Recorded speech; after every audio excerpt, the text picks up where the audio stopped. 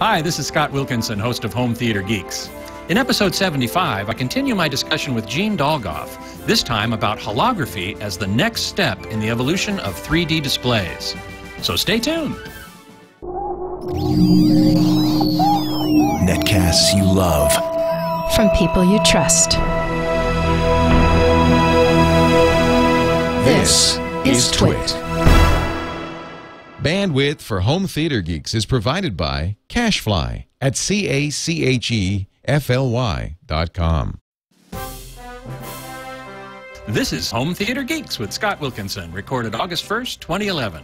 Episode 75 The Future of 3D. This episode of Home Theater Geeks is brought to you by Netflix. Watch thousands of TV episodes and movies streamed to your PC, Mac, or TV instantly. For your free 30-day trial, go to netflix.com slash twit. Hey there, Scott Wilkinson here, the online editor of hometheater.com. And those of you who are watching the video stream or perhaps the video podcast after the fact will notice that I have dark glasses on. This is not because I want to look like a rock star or um, a hippie or a beatnik. Uh, I had a little accident over the weekend and I've got a real shiner, so I decided uh, discretion was a better part of valor. And uh, so I'm hiding behind my foster grants. Anyway, welcome to the show. Uh, this week's guest geek is Gene Dolgoff, who's making a return appearance from last week. This is, in fact, my very first two part episode of Home Theater Geeks because we were having such a wonderful discussion about 3D and had just gotten into the concept of holography that I decided I really wanted to have Gene back uh, to continue that discussion. So, Gene, welcome back. Thank you. Good to be back. This is my third time, you know. It is your third time on the show. You are one of the most uh, requested return guests I've had on the show. And uh, so uh, now we have uh, plenty of things to talk about, obviously. Those of you who are tuned into the live video stream at live.twit.tv or logged into the chat room at irc.twit.tv can post questions for Gene, and I'll pass along as many as I can during the discussion we have here for the next hour or so.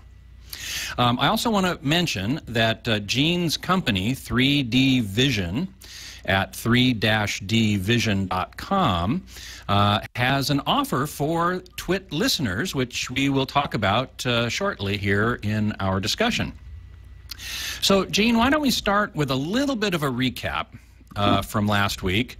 Um, talking about we were talking about 3D movies, how how they're made today, 3D movies and TV. So why don't you give us just a real quick recap of that so we can get going on uh, on the new topic? Sure. Well, uh, what what is done today, which really has been done since uh, at least the 50s, uh, is movies and TV shows are shot stereoscopically. So that means there are two cameras. One takes the left eye view, one takes the right eye view. And it is captured that way. And uh, that's the most common way of capturing 3D.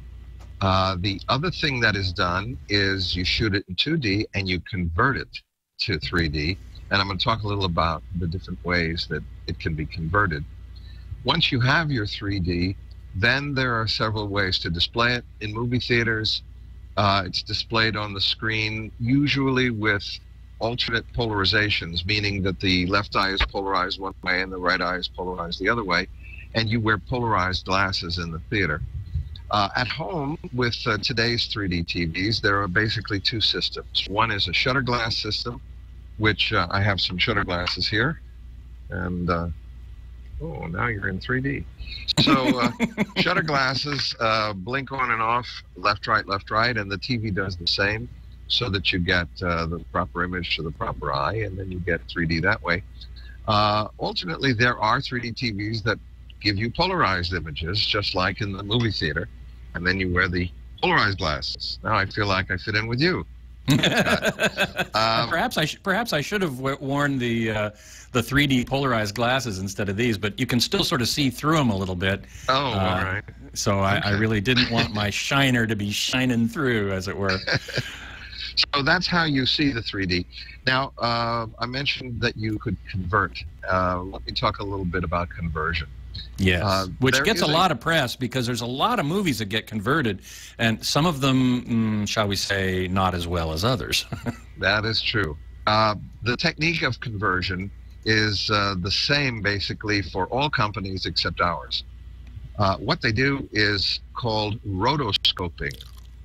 And uh, rotoscoping means that you take frame by frame, so you take the first frame and you select objects by tracing them with the mouse and cutting them out of the picture. So you select different objects that are going to be at different depths. You cut them out, and then, of course, since you've cut them out, you've left a hole. So you have to use artists to paint in pixels to fill in the hole that was left. And uh, once you've cut all the objects out, now you have to decide at which depth each object should appear. And what you do is you just duplicate that thing that you cut out. Say it's a person. You make a duplicate image of that person and you put it back. And now the spacing of those two images is adjusted. And depending on what spacing you select, that's going to determine what depth you will see it at. So that has to be done for all the different objects you've cut out. Now that, that was a lot of work. Now go on to frame two and do it again. Uh, now, th- this is a very tedious process, and it's true that there is software that helps so that once you define an object, as long as that object stays within the frame, uh, the software will automatically cut it out again and again and again. So it'll save you some time, and then you have to fill in, fill in, fill in, and then duplicate and separate. Uh, but once an object moves out of the frame, now it's no longer tracking it. So if it comes back in, well, you got to start all over again. And of course, if a new object comes in, you have to start all over again. So it's extremely labor intensive. That's why uh, a single movie, which might be an, an hour and a half or two hours, will take about three to four months to convert for a team of maybe 100 or 200 graphic artists, all sitting there working on different frames and different parts of the movie simultaneously. And that's why that conversion costs from 5 million to 15 million dollars to Holy convert smokes! one movie. Wow. And Now, you can you can do that with a blockbuster movie, but it is totally unacceptable for television and DVD releases if you don't go to the movie first. And that that's posing a big problem for the slowly growing 3D TV industry because the studios and lots of companies have a tremendous amount of content in 2D and they would love to convert it to 3D to put on their 3D TV stations. Right now we have the Discovery Channel in 3D and ESPN in 3D and there are some others too. But that kind of a cost cannot be justified because the revenues from the advertising, which is all they get, you don't pay to buy a ticket on your TV show. Uh, that's not enough to pay for that. So Hmm. that's where we come in. We have a completely different technique. We don't use rotoscoping. Um, based on our study of the human brain and how it perceives 3D, we do something very different. First of all, we take frames, successive frames, and we compare them, and we look for three dimensional information. There is actually 3D information in two dimensional images. And things like degree- things like the size of the thing and whether or not it's size. in focus and so right, on. right. Uh, as things get further back in depth, they do get smaller. They do get higher in the frame. They do lose brightness, contrast, and color saturation. And foreground objects occlude background objects. So all those in different kinds of cues are the 3D information that we look for. And then once we get all that 3D information, we create duplicate pixels. We do it on a pixel by pixel basis, not an object by object basis. Mhm. And we create double pixels with the proper spacing with information that we got from the two dimensional frames. Hmm. So it still requires an operator, it's still computer assisted, but all that extraction of 3D data from 2D data is done automatically. That's why Hmm. we call it auto 3D. So we can convert an entire movie with one person in two weeks. Really?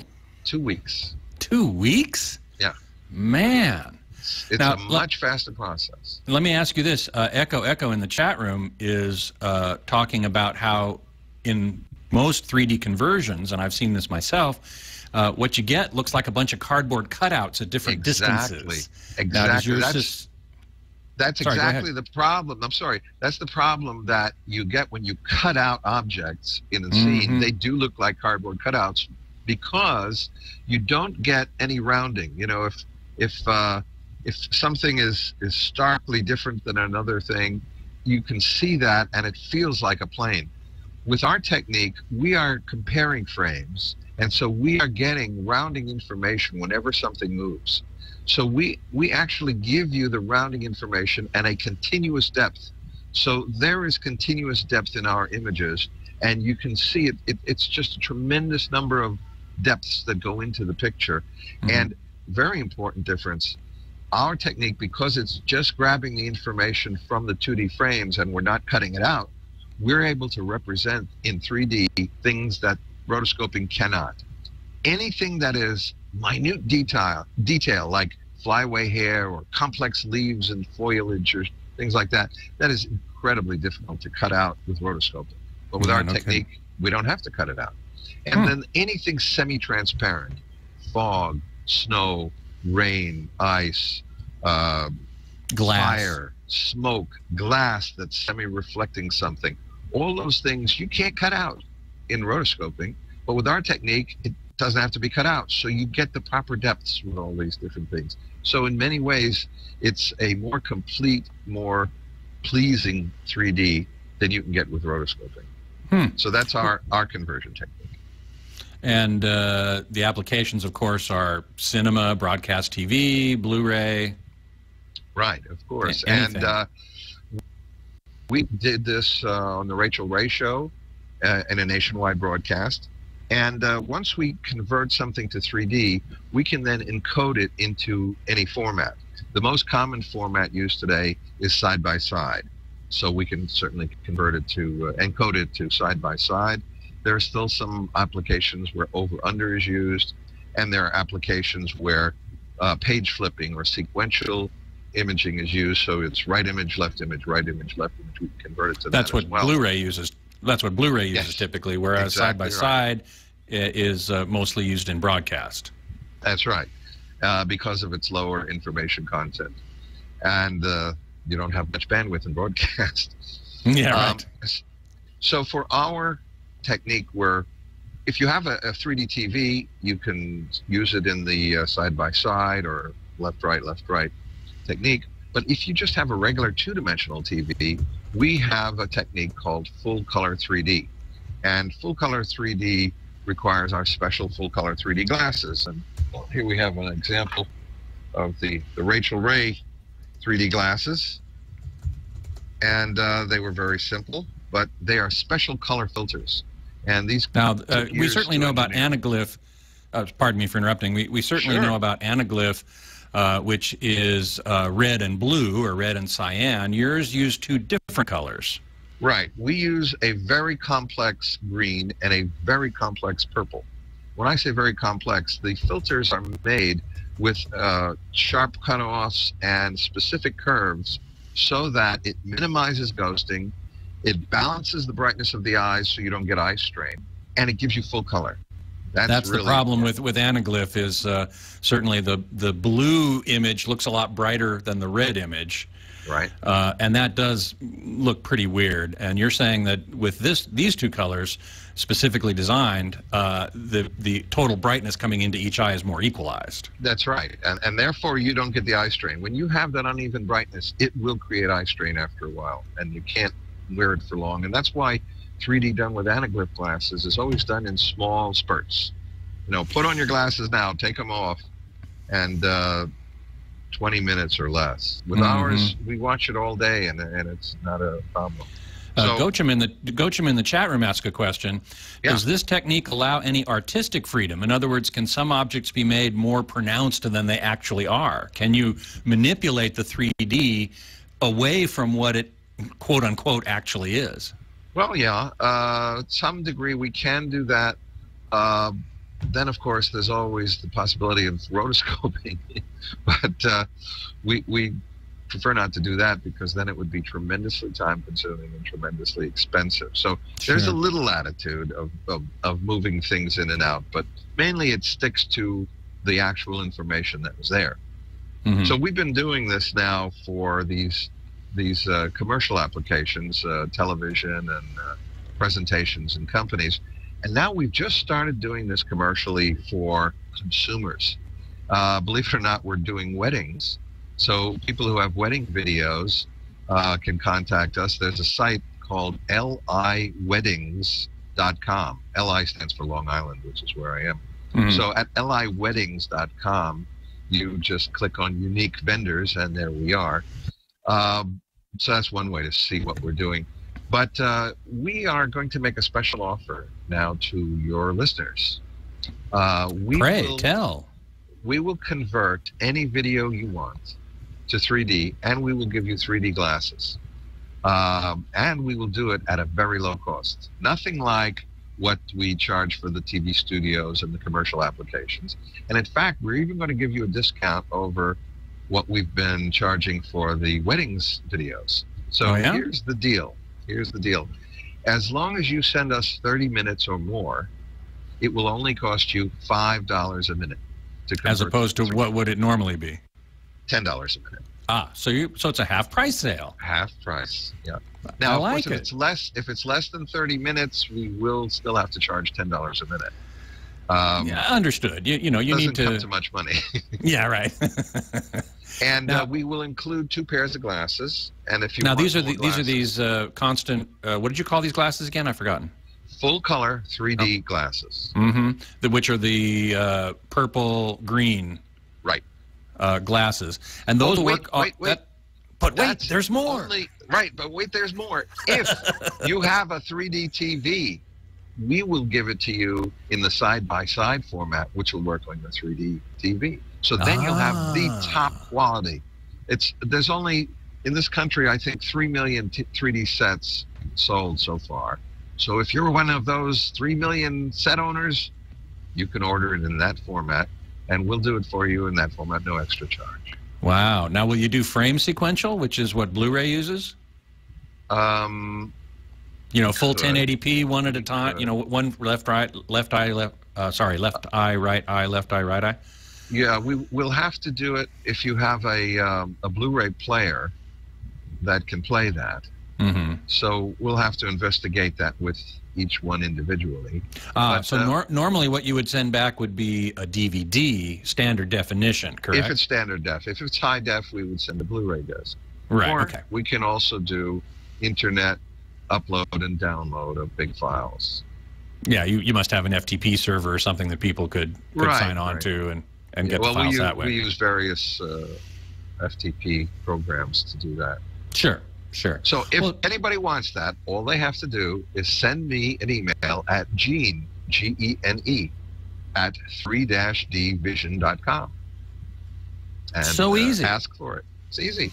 Fantastic. Thank you so much for that offer. I, uh, I hope a lot of people take you up on it because, um, I don't know, I think it'd be kind of cool to have your wedding video or um, perhaps not the birth of your child, but maybe. Yeah, well, if you're if you're the parents, you might want that. You might want that. Your kid's uh, basketball game or Yeah, graduation steps, or, or yeah, right. whatever, you know, and your wedding and your sweet 16. Right, right. I think that'd be super video. cool. That'd be super cool to have that as in, in 3D. By the way, when we send you the 3D video, you then can upload it to YouTube because YouTube has a function that allows you to upload 3D videos, and then you can watch them in 3D on YouTube. Oh, cool, cool, well. very good. Um, okay, now we've been talking about the current technology of 3D, um, but but there are some limitations to any type of current technology that is is available now, aren't there?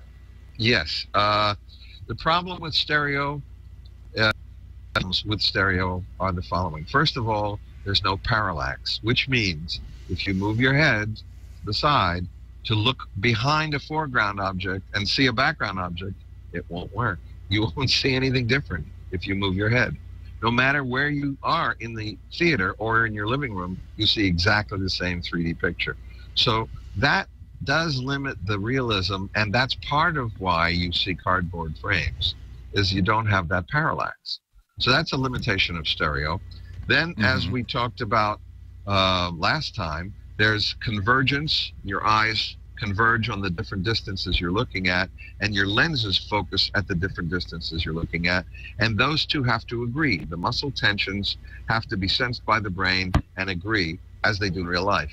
With stereo, everything is one on one flat plane, either the TV screen or the movie screen. So it's all in focus there. So your lenses have to stay focused at that distance.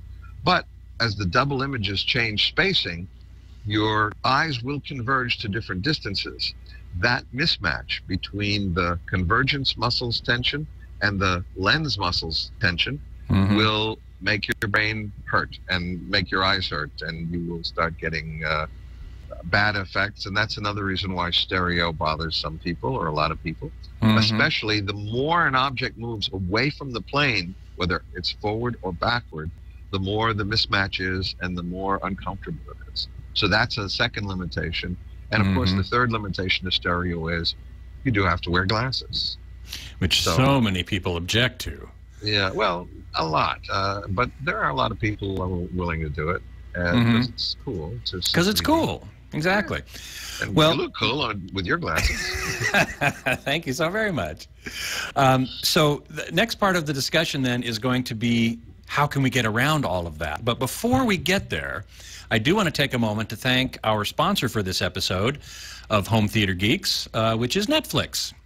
Uh, which, of course, as we all know, uh, delivers movies directly to your home uh, by streaming uh, that saves you time, money, hassle, and you can instantly watch thousands of TV episodes and movies streamed to your PC or Mac, to your TV, to your Blu ray player, to your game console. Just about everything has a Netflix app on it these days, so it makes it super easy to get uh, anything you want on uh, that, that's available by streaming. And you can watch as many as you want anytime you want. There are no late fees or uh, due dates or anything like that. So be sure to sign up for your free trial at netflix.com slash twit. And we thank Netflix so much for their support for the Twit Network and Home Theater Geeks. So, um, Gene Dolgoff, we are talking about 3D and uh, the state of the art today, but I mostly wanted to have you back today uh, to talk about what is coming down the pike. What don't we have yet? The problems of current technology we've already talked about. You discussed that very well. Um, so, how can we get around those problems? 3D will have to eventually get rid of the glasses. Yeah, That's what you need to do, and everybody wants that. And uh, it's uh, an essential part of mimicking the reality experience, which is what we really all want. We want to relive or live an experience we never lived before in such realism that we can believe that it's happening. And you can't have glasses for that. Uh, of course, you're going to need parallax, and accommodation and convergence have to agree. So, stereoscopic won't do. Now, there is another technology which uh, is uh, vertical slices of images, and those can be viewed either through a barrier grid or a lenticular lens. And that does give you parallax. So I I'll show you uh, one of those. Uh, let's see if I can I turn this light box on back here. Uh, And, uh, I, I guess give it a try.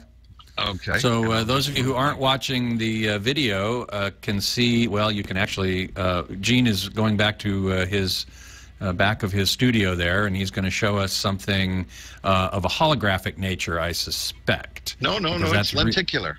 Oh, it's lenticular. Oh, it's like those uh, like those postcards or children's things that Yeah. that you you can sort of put you put it at one angle or another and see one picture or another Right. So or see 3D. Yeah, okay. So there's a See? looks like a wine bottle or something. Right. Can you Yeah. see as I change the angle, the 3D changes? Yeah, yeah, yeah. There's something in front of that bottle, and and the the perspective changes as you move the camera around. Yeah. Mm-hmm. Right. And Got I'll it. show you a medical image we did. This is uh, a real patient. And uh, I hope his his or her name is uh, Oh, look at that! Wow. So you can you can look around their spinal column and kidneys. Yeah, actually, And that's the aorta, but you could. Oh, if it okay. So a- it's the heart. Okay. This is MRI right. and kidneys and Okay. aorta. But uh, yeah, you just Wow. So it. you can you can look around, you can as if you were looking going around that person and looking inside them. That's amazing. Yeah. So the lenticular Yeah. technology, we've been doing that for a lot of years, uh, can give you parallax, but lenticular technology still is all in one plane. So you Hmm. still have a mismatch between convergence and accommodation. Okay. So that's still not good enough. Plus, there's a limited angle of view. I don't know if you noticed. You get to a certain angle, and then it jumps because you've run out of pictures. You can only put so many pictures under the lens. Right. So there's the real limitation. Now there are TVs out today that have been out for wow uh, since 2005. hmm Different TVs have been made that use a lenticular lens or a barrier screen. It does the same thing, and Right. That that shows you to get to 3D the- without glasses. Right. You have to get to the right spot, though. The distance from it is critical, and the angle of view is critical. So it's it's not practical for a movie theater for certain, and it's really not practical for a living room either because people could be sitting anywhere, and it's not going to work unless you're in that sweet spot area. So Yeah. that's not going to work. The only place that will work, and it's just beginning to, is with a cell phone. Cell phone is right in front of your And, face. and handheld game handheld game consoles too, small screens. Exactly. Small screen things will work as long as you keep your hand still and your head still. Because if you move, it, it goes out of the zone and now it gets all messed up and hurts your eyes. And uh, by the way, the uh, people who sell the Nintendo 3DS, which is a handheld gaming system in 3D without glasses, have strong warnings saying if you're under six years old, do not look at this. no kidding. And Oh, uh, the other companies are, are following with that same warning, saying don't look at this display if you're six, because they're worried that if they move the wrong way and it goes out of uh, the zone, your, your eyes start getting really messed up. And the people who are so young, who haven't really formed their their uh, the brain areas that govern how they see 3D, are potentially going to not form it properly, and it could damage their vision forever. At least that's the theory. So that's Mhm. why they're covering themselves by saying, "Don't let anyone under six see this." Hmm. So that's what doesn't work. So what will work? And the what answer will is work? holography. hmm And um, that brings up the question: What is holography? It Uh, does you know, indeed. Not many people know what it really is, and I, I, include a lot of the holographers don't know what it really is. Huh. Wait a second. They're doing it. Yeah, because you don't really have to understand what's going on to practice it, to do it. But it is an amazing thing what holography is. The world that we see, the the 3D that we experience every day, is there in nature, and it works by the same interference principles of holography. Naturally, nature just creates that illusion for us so holography has to create the same illusion because it works exactly the same way. Hmm. That's hard to hard to believe, but you know I can I can give you some background which will make it clear. It this is going to be the first time I think that anybody's going to make a simple explanation of what holography really is. So I'm all ears. we start with just a bit of history. Um, in 1678, uh, Christian Huygens was the first guy to say, you know what, light is a wave. And he started postulating how waves propagate from points in space, and each point is a new propagator of waves.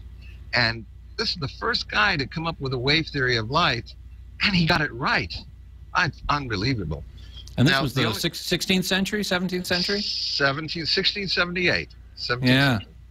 So that was amazing. Now, it wasn't totally complete, and it, it re- required one more piece, and that was the interference part.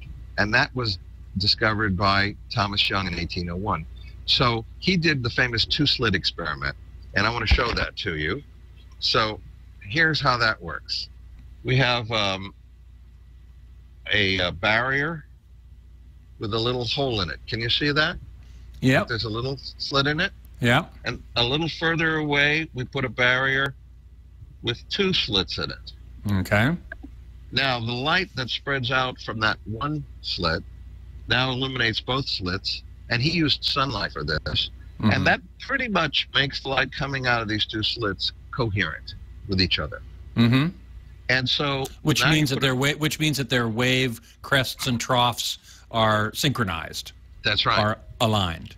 So now these waves, so this this spreads out like that, and then you've got waves coming out of here, like this, and so on.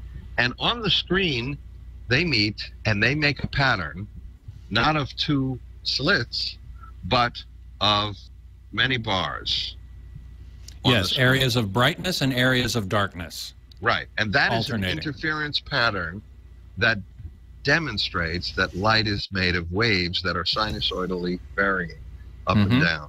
hmm So um, in 1818, there was a guy named Augustin Fresnel who realized that if you combine Young's wave theory with Huygens wave theory, mathematically it explains everything that is observed. And, and it does. So that was a very important uh, breakthrough in understanding light.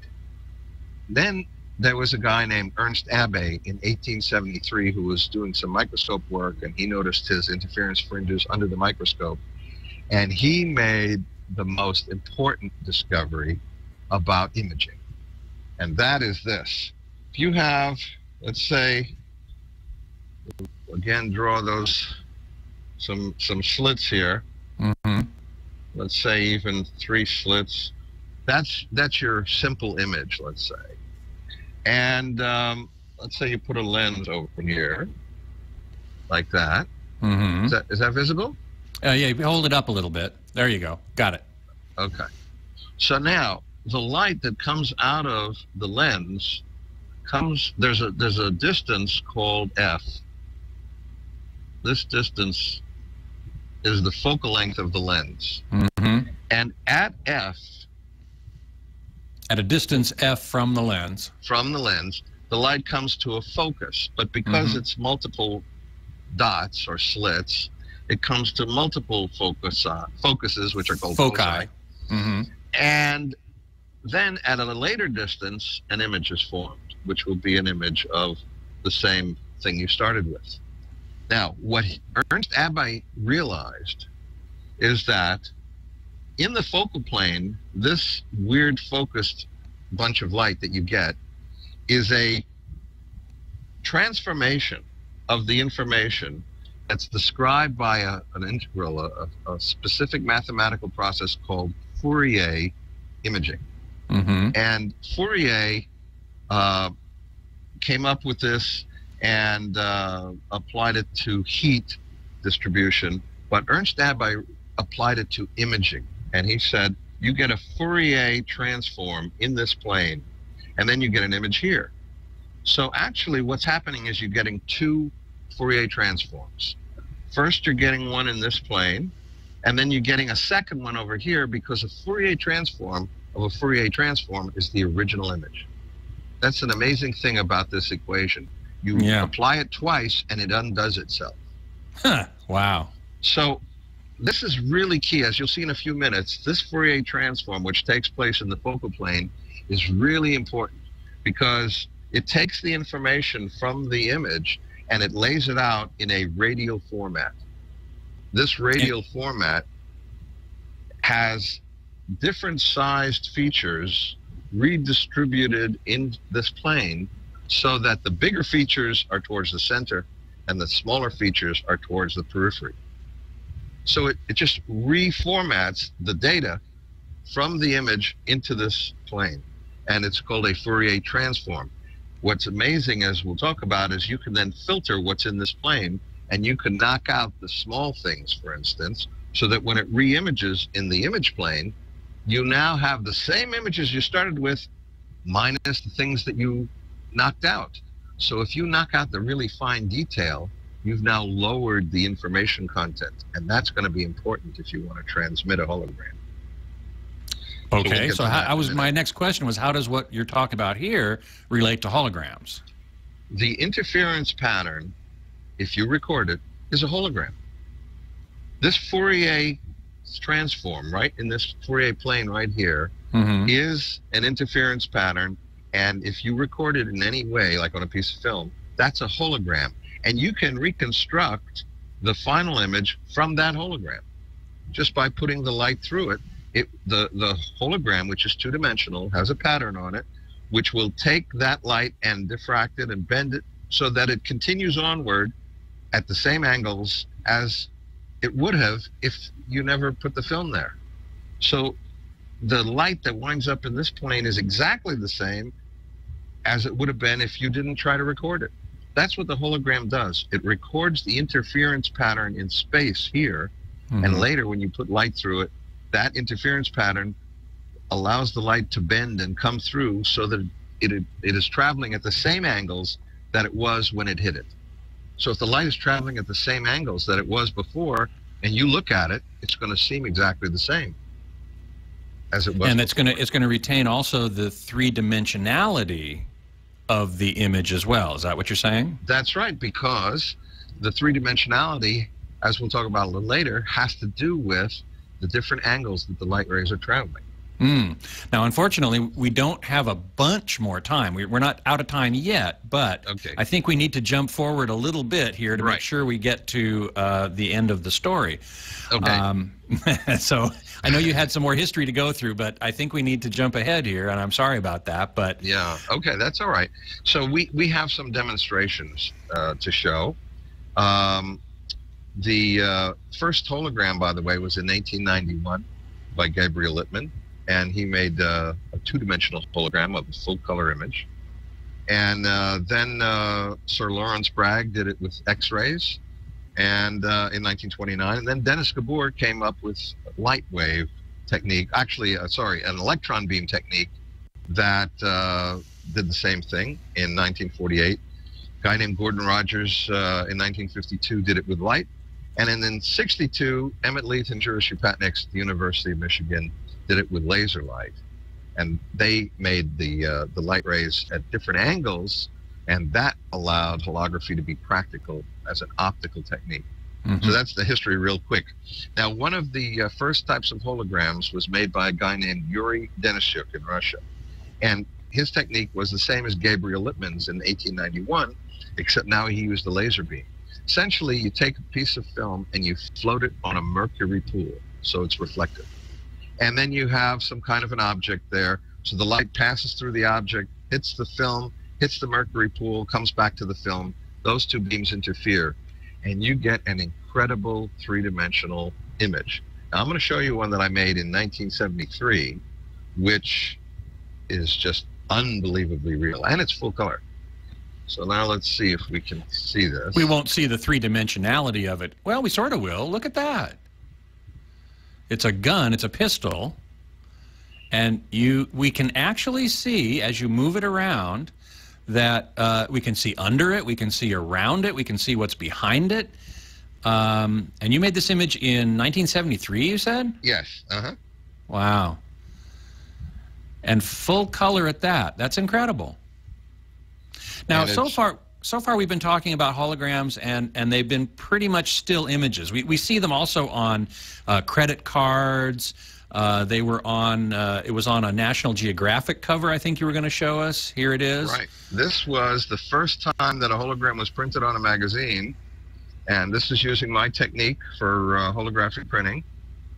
Um, let's see, can you see that eagle? Mm-hmm. Mm-hmm. Yep.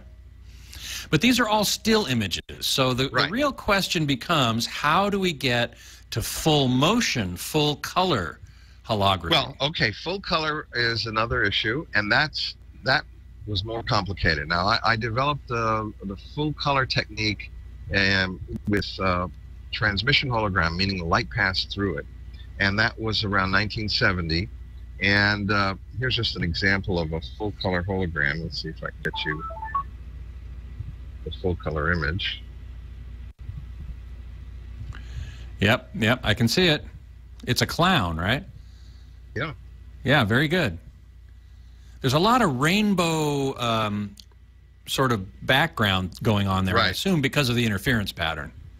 Well, no, it's it's not just because of the interference pattern. It's because the way it's done is the light comes at an angle vertically, and there's no vertical information. This this hologram is actually made from a strip image that is as wide as the hologram, but has no height to it practically.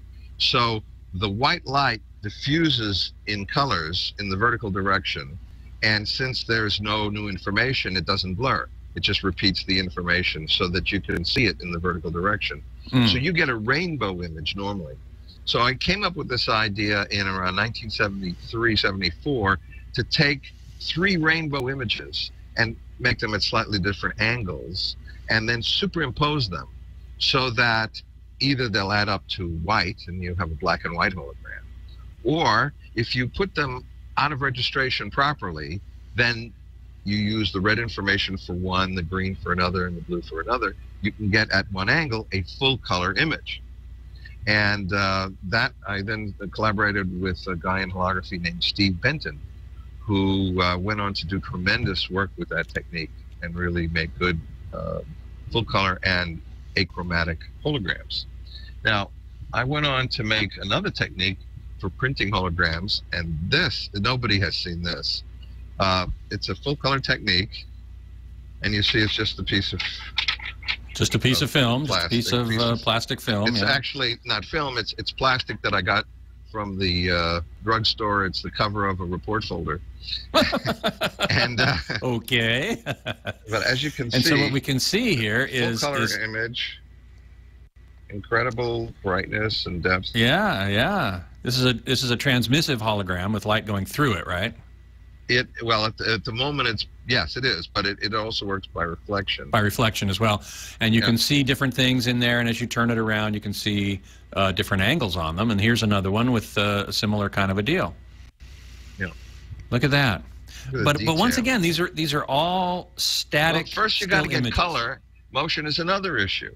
Yeah. Now, motion is more difficult because then you've got to get a lot of frames of 3D images, one after the next. And uh, Because That- after all, motion is nothing more than a series of still images uh, sent at uh, 24 or 60 or 30 frames per second. right, right. So to do that, there were different techniques developed. One technique was the cylindrical hologram, which I'm going to show you in a second. And that's a cylinder where the film is wrapped around the cylinder and there's lines on the cylinder, and each line is a hologram of a different frame. Hmm So as you rotate the cylinder, you see a three-dimensional image in the cylinder that's moving. Now, I Uh, by the way, before you, before you go any Yeah. further, uh, somebody in the chat room says, but that plastic is not photosensitive. How did you get that image onto that plastic? well, that is our proprietary 3D printing technology, and we can print holograms. Uh, it has to do a lot with the technique on the credit cards because that's that was my original technique. Mhm. Um, so I, I'll tell you this: that there are slight variations in the height of the uh, surface, which diffract light in different directions. And uh, But those those differences are not uh, are not predictable or consistent, Oh. are they? they are they're they are created by the interference pattern when we make the holographic exposure Ah, ah, ah, I see. Okay. All And right. it could be also predicted by a computer. You can make a computer generated hologram, and the computer can compute what the interference pattern would be if the light rays really existed and met and interfered with each other. Okay. so- All right. Either way, So you getting get back the to- interference pattern. Sure. So getting back to motion, you're going to show us a cylindrical hologram. Right. Now, but before I show it to you, I'm going. I- I- I'm going to tell you what it's about because it's an amazing thing. Um, I was working with uh, Michael Noll at Bell Labs in 1975, and he was working on an idea of what would the universe be like if there was a fourth physical dimension. And uh, so something something I ponder often. I figured that. um, I do. I actually do. A lot of people do. Actually, I thought about it a lot also. But Michael went to the point of computing, and here's what he did. He said, "Okay, well, imagine you had a uh, a cube that was three dimensional. I'm going to draw a cube for you. And uh, you wanted to show it to someone who lived in a two dimensional universe. So here we have the cube. Yeah. Is that visible? I can see that. Yep. Okay. And now if we put a light over here and shine through the cube and cast a shadow onto this surface over here, that shadow is going to be a very strange looking shadow for Yep. the two dimensional person. And essentially, what it will look like is, you know, as you move your hand closer to a light, your hand gets bigger. The So shadow gets bigger. Yeah. The shadow gets bigger, sorry. so the face of this cube closest to the light will make a bigger shadow than the face that's further away. Right. So, so the, the result will be you'll see on the surface, you'll see a square within a square with the vertices connected. Right. And can you see that? Yep. Okay. So that's what the two dimensional shadow would be of, Of a three-dimensional three-dimensional cube Mm-hmm. onto the two dimensional. Well, what Michael said was okay, let's say that there's a four dimensional cube and we're going to put a light through it and then project that onto our three dimensional universe. What will that look In, in other in other words, cast a three-dimensional shadow. Right. And uh, what it looks like is a cube within a cube with the vertices connected. At least that's one potential shadow that you might see, Right. depending If on the, orientation of the is- light and the hypercube. Exactly. Yes. Exactly. By the way, And- just I just used a word there. The four four-dimensional cubes are often called hypercubes, sometimes called tesseracts. Very good. True. So I've just done a quick drawing here of the cube Mhm. within the cube. Now, Mhm. looking at that, we'd say, okay, that's a cube within a cube with the vertices connected. That's nothing special. What's the big deal? So Michael said, okay, let's do what we would do to the poor people on the two-dimensional universe who said the same thing. Oh, well, it's, this cube is just a square within a square with the vertices connected. So what's the big deal? And the Mhm. answer is, let's rotate the cube in the third dimension and let these two-dimensional people see what it looks like and they'd see a strange transformation of shape which maybe they could use to figure out what must be happening to this cube in the third dimension so michael did this in the fourth dimension he told the computer to rotate the cube in the fourth dimension The hypercube. the hypercube and let's see what the three-dimensional shadow will do the only problem is michael didn't have a way to generate a three-dimensional shadow And thus we get to holograms. That's Right, so- beautiful. So what he did is he then took the three-dimensional shadows and told the computer to shine a light through that once again and produce two-dimensional shadows. So we got a four-dimensional cube rotating into the third dimension, making 3D moving shadows, and then that is imaged onto a two-dimensional surface. So he had these weird two-dimensional shapes. I took his computer data, his two-dimensional shapes, and I made three-dimensional holograms of each of those shapes in three dimensions so that you could now see in 3D what that shadow is doing. And now I'm going Oh, to show yeah. that to you on a Oh, moving man. hologram. This is great. So here it goes. So, uh, so Gene is going to show us this. Uh, this is the cylindrical hologram you were talking Yes. about. Okay, This so it's a series of still images, which are, and the the actual piece of plastic is in a cylinder, and you can rotate the cylinder and see the a sequence of these different Now, um, see if- if you're individual seeing this. Now Well, he's got to get his camera set up correctly here, I and got that's going to yeah, be a little that bit of a problem. So I'm gonna. I'm gonna vamp while he does that.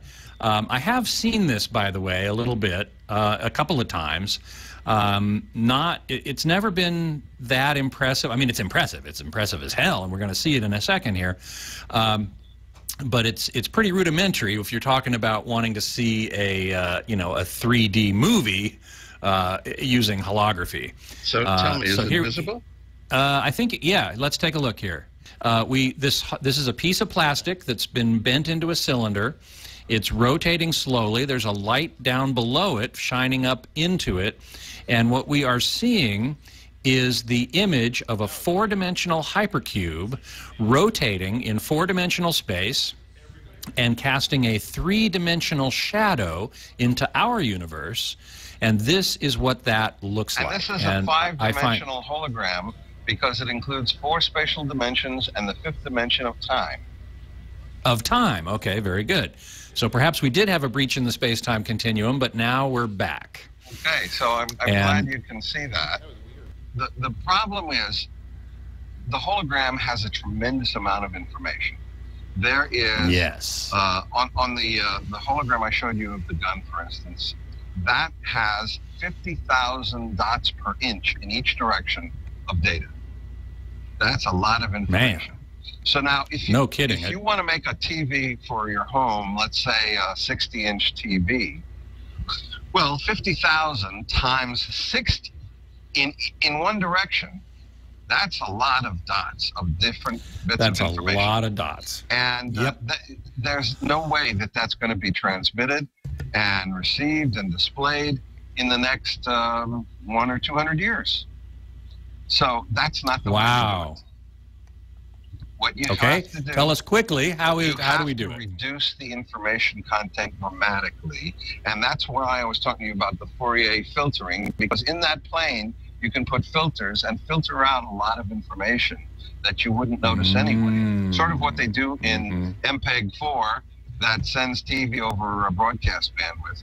But this is a much bigger reduction, uh, and you really use the the hologram to direct the light rays into the different directions because that's the key to holography is each light ray has to go in its own direction. That's why when you look at one face or another face you see the difference because the light rays coming off of one face have different angles than the light rays coming off of another face. So it's that angle Mhm. information that needs to be preserved. And actually all light rays go at all the same angles so all you have to do is say well let's make a device that produces light rays at all those angles, and therefore you don't have to transmit all that.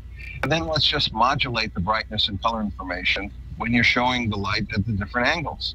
So now you've reduced dramatically the amount of information that you have to send. And we've already demonstrated this. We can make a system for home and for theater that will be holographic, and we could do it in a matter of two years if we had the funding. And you would have cinema and TV at home that was truly holographic, full parallax, and give you accommodation and convergence differences, and uh, the full size. So that is available. Now, would it be would it be would it be would the objects look solid or translucent as as they often do with holograms They now? would look solid. You know, the only way something looks translucent is if you have some other light coming fr- from the same direction to your eyes, and when you see the superposition of other light and the object light, well, your brain says, well, it must be semi-transparent. So you don't allow any light to come to the viewer unless that light is part of the information of the objects that you're looking at. Therefore, it'll look solid. Mhm. So will it will the TV like be a like a black box, a black Yeah, cubical yeah, box yeah, In, in which the image will appear? Except the depth of the box doesn't have to be that much, maybe uh, just a few inches thick. And so it looks sort Mm-hmm. of like the uh, TVs you can buy today that are uh, LCD TVs, except they won't be one inch, that maybe they'll be three, four inches thick. But otherwise, it'll look that just like that. And the Mm-hmm. And you could do that. You could sca- you could scale that up to a big to a big size for a movie theater. Well, it's not exactly scaling it up. It's a it's a different way of making a different type of hologram because in the theater, what you have to do is you have to have the screen, again like the screen at home, send light at all the proper angles. But here, the proper angles are the seats. So the screen function has to be sending the light to where the seats are, and don't waste any any information sending light into the spaces where the aisles are or in between the seats. So you cut down on the amount of information, and you don't have to go above their Hmm. heads and so on. So Right. it's slightly different, but the same principle. You use holography to direct the light at the right angles, and then you don't have to send all that directing information, just the the brightness and color information. Now, That's the secret. Fubarsky in in the uh, that's that's the secret right there. Uh, Fubaras, Fubarsky in the chat room uh, asks care to predict when this tech might be uh, might be available? And you said you could do it in a couple of years if you had the funding. Right. And so since I said that, it's going to be at least 20 years. because we won't get the funding. And besides, Right. uh, the way technology works, it's step by step, little by little. We're just now beginning to get stereo in the home. And uh, right now, you can buy a 3D set, and there's nothing to watch on it. So it's going to take a while before stereo Mhm. becomes mainstream. Maybe five years or seven years till stereo becomes mainstream. And then after maybe 10 years, uh, then people will start getting tired of it. And then there will be a lot of development in the holographic technology. We haven't applied for patents on it because why waste 10 years of your patent life waiting for the world to catch up to you and uh, start then? You know, that's important. Yeah, Timing yeah. is very important. Well, this has been, we've come to the end of a fascinating hour. I want to thank you so much for uh, coming back this week for part two of our special s- coverage of, uh, of 3D and this, uh, this discussion of holography and the fourth dimension. All stuff I've been thinking about for years and, and am just having a great time sharing with the audience. Thank you so much, Gene Dolgoff, for being here and sharing your wisdom with us. Thank you so much for having me again. You bet. And Uh, remind you can get everybody more They information. can contact me at Gene G E N E at three D Vision V I S I O N dot com if they have questions or if they'd like to have their videos converted to 3D. That's right. Uh, Gene's offering a special deal to Twit listeners and watchers, uh, half price off, uh, converting uh, your home videos, 30 minutes at least or more, uh, into 3D of whatever format you like.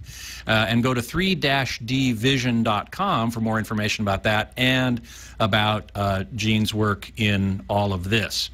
My online home, of course, is hometheater.com. You can email me also at scott at twit.tv.